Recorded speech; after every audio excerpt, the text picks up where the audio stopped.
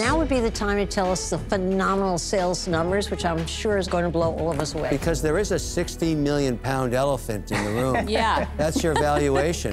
Um, we launched 13 and a half months ago. Uh, we have 2.9 million uh, Wow, in sales. wow.